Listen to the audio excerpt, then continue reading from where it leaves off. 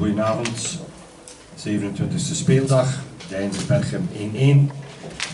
Beide trainers zullen daar wel een zegje over hebben, denk ik.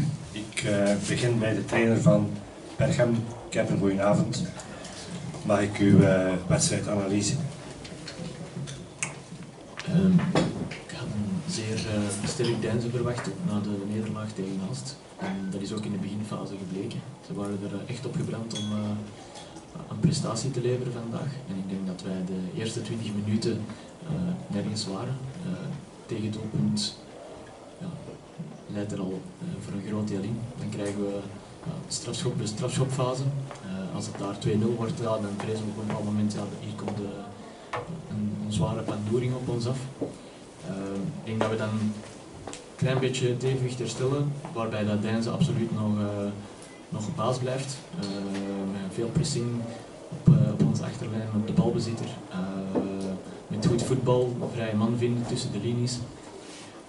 En dan, dan blijft die 1-0. En heb ik ook met de rust gezegd van kijk, zolang het 1-0 blijft en, de kleine tegenstootjes die we hebben gedaan, als we die, die kunnen blijven doen, dan blijft alles mogelijk. En ik denk dat we onze tweede helft goed hersteld hebben. dat wij de bovenhand kregen. Ik vond enkel dat we, we niet echt tot, doelkansen kwamen en dat, en dat ontbrak een beetje. Vandaar ook uh, de wissel met twee, twee flankspelers die, die sneller de bal voor doel brengen. Roy die we vooruit schoven.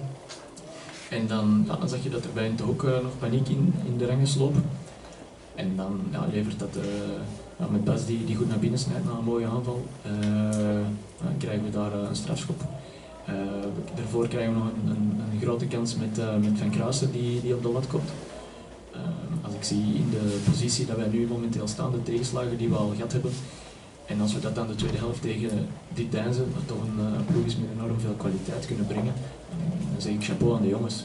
Um, het is alleen jammer dat we de eerste 20 minuten uh, lieten afweten en, en, daardoor uh, het overwicht aan Deinzen overlieten. Ja, maar dat gelijkspel komt er natuurlijk ook niet vooruit. Hè? Nee, dat klopt. Uh, nu, de uitslagen die, die, die vallen mee op het moment. Uh, dus je, je sluit één puntje dichter bij, bij Hammer, hoewel dat die dan nog bij, met meer, meer overwinningen zitten.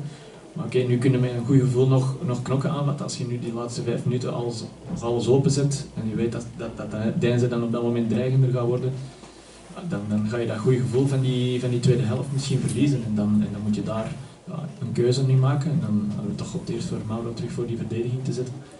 Um, ja, en nu kunnen we nog met, met, vertrouwen naar, naar knokken toe, toe werken. En hopelijk dat we daar uh, een goed resultaat nog tegen kunnen neerzetten. En dan, dan het uh, tot het einde hopelijk spannend blijven om, uh, om missieredding tot een goede einde te brengen. Oké, okay, dank u wel. Reggie, heeft u iets te zeggen over de wedstrijd?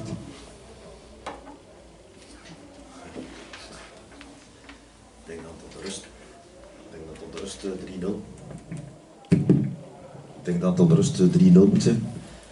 Uh, niet alleen de penalty mist, maar juist die alleen voor de keeper komt, die er naast trapt. Uh, dus de eerste helft vond ik uh, voor ons goede druk op de bal, goede combinaties, kansen. Maar het is nu de tweede man dat met de Berg en weer de penalty missen. Er zijn een aantal mensen aangeduid, dus heb je het al die penalty is omgezet, maar hij zat niet goed in de match. Ik denk dat Sepp uh, de bal niet opeist, maar ja, oké. Maar ik ben vooral best tevreden. Uh, we wilden duidelijk meer druk zetten met een tweede spits bij, maar uh, er zat veel te weinig beweging in. En dan moet ik ten eerste naar de spits die gekomen is. Maar we hebben het ook laten afweten in, in, in het middenveld. En, we hebben meer gedacht aan voetballen. We hebben maar gewoon lange ballen naar voren getrapt, op proef vallen uit. Gelukkig dat je dan aan Lennart Mertens hebt, die enorm hard gewerkt heeft. Jérôme Mézin, die enorm hard gewerkt heeft. En dan uh, stel ik me vragen, uh, je weet als je een penalty hebt meegekregen dat er iets gebeurt in de 16, dat je zeker uh, moet opletten is, is misschien uh, 15 keer herhaald tijdens de rust. Niet alleen van mij, maar ook van de spelers onderling. En dan versta ik niet dat een ervaren speler zoals, zoals Bart daar een, sliding in zet en gewoon druk op die bal bezitten en sluit die verstoek af. En onze keeper is er ook nog. Dat zijn zaken vind ik die, uh, basis zijn in voetbal en waar dat wij opgefaald hebben. Eh, ik zeg het, dat zijn, dat zijn zaken, eh, ondanks dat ik vind dat, dat Berchem eh, zijn kwaliteiten eh, zeker niet daar moet staan waar ze staan, maar oké, het is nu eenmaal zo. Maar ik ben enorm ontgoocheld over onze tweede helft dat wij te weinig wil hebben getoond en te weinig aan voetballen toegekomen zijn. Uh, met onze spelers moeten wij duidelijk meer brengen. Ja, dat gelijkspel is natuurlijk jammer als je dan ook ziet dat Heist een gelijkspel speelt. Hè?